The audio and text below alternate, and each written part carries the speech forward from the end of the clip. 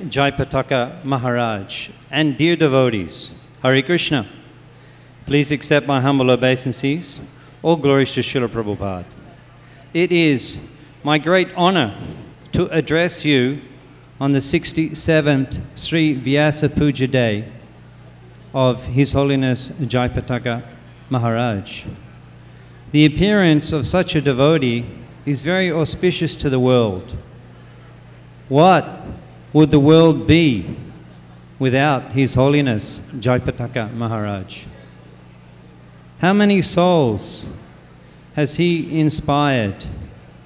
How many souls are maintained on their spiritual path by Him? How many projects has Maharaj founded?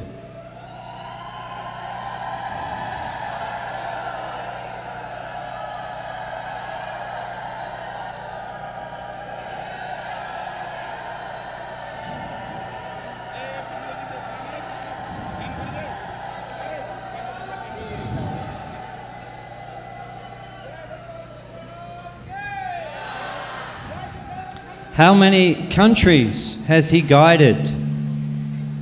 Where would Mayapur be without His Holiness Jayapataka Maharaj?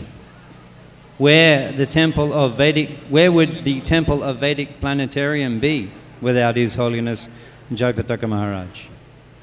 Many, many projects, devotees, and lives are carried by this wonderful Vaishnava.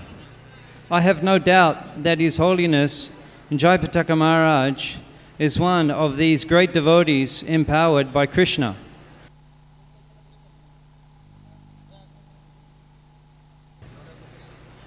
And I request all his disciples and followers to take his example and very seriously and wholeheartedly engage in the merciful mission of Maharaj, missions of Maharaj, which he does in the service of Srila Prabhupada. My dear Jayapataka Maharaj, please know that I am greatly appreciating your service and personal example.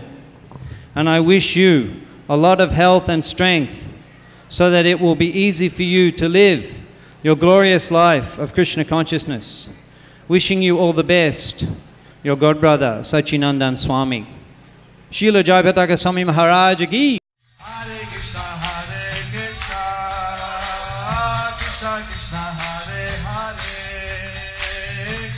Hare Rama, Hare Rama.